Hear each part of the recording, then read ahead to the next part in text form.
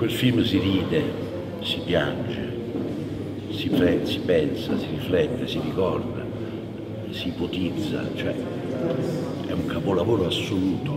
Quello è il merito di Robert Zemeckis, il regista e l'autore del film, e di Tom Hanks che ha restituito questo personaggio in modo così felice. A me rimane l'orgoglio di aver fatto parte di questa operazione insomma, che rimarrà nella storia del cinema.